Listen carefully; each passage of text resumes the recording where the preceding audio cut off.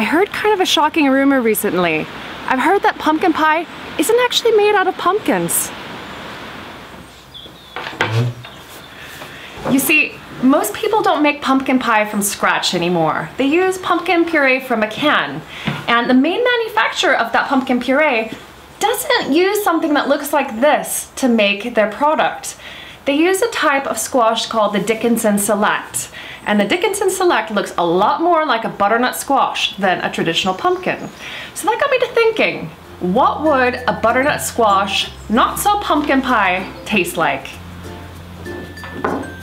Right, so the proof is in the pudding. Let's see what this tastes like. Well, it looks amazing. Yeah. Let's have a bite.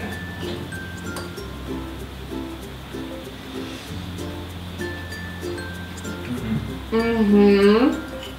Oh yes. That's Yeah. right. That tastes exactly like pumpkin pie. Surprise, surprise. No pumpkins at all. Though this experiment may have shattered a few childhood illusions, there's actually a bright side to all of this. Most of the pumpkins that you find for sale in the supermarket are actually not pumpkins that you should be putting into pumpkin pie. They're grown to be jack o' lanterns and they don't really have a great flavor. But if you're going to make pumpkin pie from scratch, you know now that you can use butternut squash.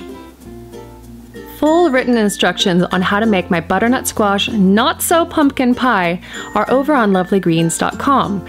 But what you'll need is a one crust pie crust, and you can either make that yourself or buy it pre made. And then for the filling, you'll need a butternut squash, you'll need to roast it, and from it, make four cups of puree.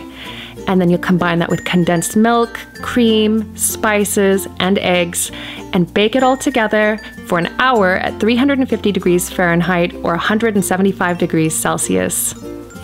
Thanks so much for watching. And do share this recipe with people you think might be interested. I think more than a few people will be surprised to know about their pumpkin puree from a can.